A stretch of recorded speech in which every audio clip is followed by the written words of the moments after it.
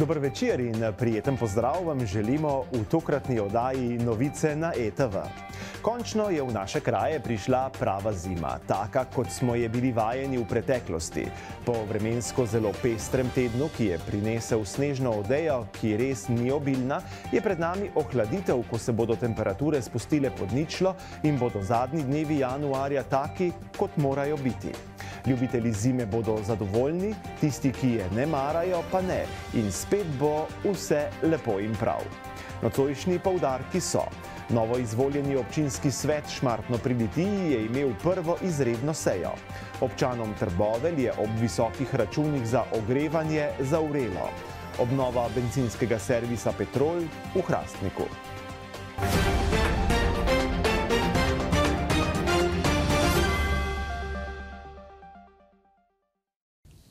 Šmarski občinski svetniki so imeli v sredo prvo izredno sejo. Na njej so obravnavali in potrdili nove odbore in komisije, ki bodo delovale v pravkar začetem mandatu 2022-2026 in s tem dokončno oblikovali novo občinsko vlado. Ta je poleg občinskega sveta odbor za družbene dejavnosti, odbor za infrastrukturo, okolje in prostor, odbor za zaščito in reševanje, odbor za gospodarstvo, kmetijstvo, turizem in finance, Komisija za statut in pravna vprašanja, nadzorni odbor ter svet za preventivo in vzgojo v cestnem prometu. Svetniki so vse predlagane člane navedenih delovnih teles skoraj soglasno potrdili. Je pa tako kot po večini drugih občin tudi Šmarski občinski svet opazno spremenjen, saj je v njem več kot polovica novih svetnikov. Tudi tukaj je opazna menjava generacij lokalnih politikov, tako da je ta močno pomlajen. Gotovo bodo mladi prinesli novo energijo, ideje in prizadevanja v lokalno politiko, kar je dobra popotnica za nov mandat. V sredo so nezadovoljni trboveljčani pred komunalo Trbovlje organizirali protestni shod zaradi nenormalno visokih položnic za ogrevanje in toplo vodo. Te so namreč še bolj poskočile v nebo in nekateri udeleženci protesta so na shodu povedali tudi, da imajo toliko ali pa sploh ne niti pokojnine ali plače. Kolikor je bilo razumeti v razburjenem govorjenju vse povprek, je rekorderka med udeleženci protesta upokojenka, katere decembrska položnica za komunalne storitve znaša kar 500 evrov. Ta mesec sem dobila 420, sam gretje, centralne. Ko imam pržgan sam dva radiatorja, v stanovanju pa še tisto občasno zapiramo. Ne? Jaz imam pa pokojnine 500 evrov. Vse skupaj je pa račun bil 499. Ne? In me zanima, kako se lahko naj to plača. Odkud je tudi tak račun? Zakaj? Od merilne tehnike sploh ne dobimo izpiska. Vse to me uh, mot. Prejšnji mesec sem pa glitko imela 280 evrov centralne na dva radiatorja. To meni je ful sporno. No? In nepravično in izkoriščevalno, vse tako naprej. Ne vem, kako naj se še izrazim. Ne? Da mi upokojenci, ko toliko let plačuješ in delaš in vse, in bolezni in vse, pa da do tega prideš, da ne moreš plačati poštejan kot državljan Slovenije. Halo? Tu ne gre. Izrazito nezadovoljstvo in srd pa sta tudi pri drugih udeležencih protesta. V vrsti različnih očitkov in obtožb komunale, ki se razlikujejo od posameznika do posameznika, so skupna rdeča nit vseh absolutno nenormalno visoke položnice. Občina Trbovlje je namreč med daleč najdražjimi v Sloveniji glede višine cene ogrevanja za toplo vodo in centralno ogrevanje. Povedati, kaj za položnice, za, central, za ogrevanje, za centralno, preveč sem dobil 260, še nekaj sem dobil, samo ogrevanje, plus komunale, vse skup 350, 345. Danes sem tukaj, da protestiram proti taki predražitvi. Plačal sem za mesec december 455 evrov, za mesec november bilo pa 335. Glede na, na lansko isto obdobje, lansko, ki je bilo isto obdobje, sem plačal pa 160 evrov. In to v najtoplejšem mesecu v zgodovini. Arso je objavil. Tri radiatorje imam odprte v stanovanju. Čeprav je bilo večkrat objavljeno, da se bo v januarju in februarju izvajala prenova edinega benzinskega servisa v Hrastniku, to še vedno marsikomu povzroča težave. Kar nekaj voznikov je za manj zapeljalo k servisu, pojavljajo pa se številna vprašanja, dokdaj bo prenova trajala. Na to vprašanje nam je odgovoril župan občine Hrastnik Marko Funkl. Prenova vsakega uh, industrijskega poslovnega objekta pomeni, da eh, tisti, ki tam delajo, se pravi tukaj v tem primeru benzinski servis v Hrastniku, vidijo potencial za to, da vlagajo dodatni denar, da bo servis bolj modern in urejen. Uh, tako da to je čist naravna zadeva. Jaz sem prepričan, da se bodo držali tistega, kar so zastavili, da bo prvi teden v februarju ta prenova tudi končana.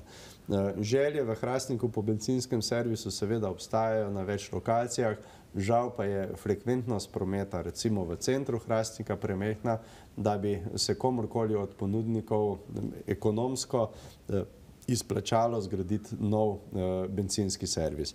Naj povem, da je eh, ena želja po samopostrežni benzinski črpalki, ki je strani po, po, pobudnika enega od gospodarskih subjektov zelo blizu realizaciji na Marnem, Eh, in jaz sem prepričan, da tam obstaja potencial in tudi frekventnost prometa je precej velika. Ekologija bo po besedah župana Moravč dr. Milana Balažica tudi v novem mandatu prioriteta njegovega dela. Seveda gre pri tem za odnose občine z družbo Termit, ki je po njegovem mnenju največja onesnaževalka okolja Moravške doline in do danes z njo niso našli skupnega jezika. O tej problematiki smo tudi mi večkrat poročali v naših informativnih oddajah in bomo še naprej spremljali dogajanje. Župana smo vprašali, kakšna je situacija danes in ali je na vidiku kak premik v pozitivno smer. Povedal je. Ja, eh, želim eh, občankam in občanom Orav sporočiti, da se stvari začenjajo odvijati, da se vendarle torej, eh, v nekem novem duhu po zadnjih volitvah začenja odvijati nek proces, za katerega upam, da bo na koncu okronan z nekim sporazumom, ki bo zaščitil dva glavna cilja. Eno je razvoj podjetja Termit, eh, ne samo ohranjanje, ampak tudi širitev delovnih mest, eh, torej uspešnost podjetja. Na drugi strani pa zaščita, eh, okoljska zaščita sve naše lepe Moravške doline in zdi se mi, da je nastal nek nov moment, kjer lahko v prihodnjih mesecih pričakujemo napredek na tem področju. Eh, ko bodo te koraki storjeni, bom seveda eh, našim občankam, članom vesel eh, lahko sporočil, kaj smo se dogovorili. Pomembno pa je, da skratka damo z mize odprti spopad, medijski spopad in da se začnemo resno, trezno pogovarjati o rešitvah, ki bodo dobre tako za občino Moravče, za naše občane, kot za podjetje. V tem smislu torej je pred nami kar nek resen napor in upam na ugodno rešitev. Zasavska regionalna razvojna agencija je bila uspešna pri pridobivanju sredstev za razvoj projekta pridobivanja zelenega vodika. Projekt je trenutno v fazi razvoja. Kaj dejansko pomeni pridobivanje zelenega vodika kot energenta, pa nam je zaupal koordinator projekta Kristjan Adamlje. Torej, regionalna razvojna agencija za Savje smo bili uspešni na razpisu za tehnično pomoč pri razvoju vodikovih projektov oziroma čistih vodikovih tehnologij. To smo uspeli doseči v sodelovanju s partnerji in uh, zdaj smo pridobili uh, tehnično pomoč za razvoj teh, uh, takega projekta oziroma projektnega koncepta, kot smo ga predlagali. In to bo podprlo podjetje, svetovalno podjetje Element Energy iz Velike Britanije kaj je točno to, je zeleni vodik in na kaj ima lahko največji vpliv? Torej, vodik eh, je plin, zeleni vodik pa je plin, ki ga pridelamo na, čist, eh, na zelen način, oziroma na čisti način. Ne? Torej, gre za uh, cepljenje vodne molekule, vodna molekula je H2O, se pravi dva vodika, en kisik, in s procesom elektrolize vodo razcepimo na vodik in kisik. To nam omogočajo naprave, ki se jim reče elektrolizeri, ki so priklopljeni na nek vir energije. Pomembno pa je, da je ta vir energije iz, se pravi, iz obnovljivega, da je ta energija iz obnovljivega vira energije, ali sonce ali veter in tako naprej. seveda pridobivanje tega, zelenega vodika pa ima lahko kakšen vpliv na okolje? Pravzaprav, ta zelena elektroliza oziroma proces pridobivanja zelenega vodika nima slabega vpliva na okolje, ni, ni obremenilen za okolje. Gre se, da pravzaprav je preprosto, na sonce pridobivamo plin. Pač ja, tu gre za neko infrastrukturo, ki se postavi, ampak nikakršnih emisij, na primer, kot smo zdaj vajeni pri tej stari industriji, kjer se soočamo z izpustom COdva-ja predvsem, ne, problematičnega plina. Ali je Zasavje primeren prostor za pridobivanje zelenega vodika?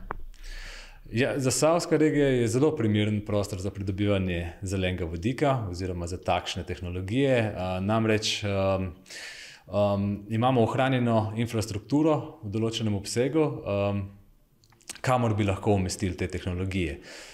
in, zdaj sama oprema za pridobivanje, za za vzpostavitev tega procesa je majhna, to manjših obsegov, tako da se jih lahko integrira, v manjše prostore ali pa tudi kar v obstoječe industrijske dejavnosti, na primer, ne.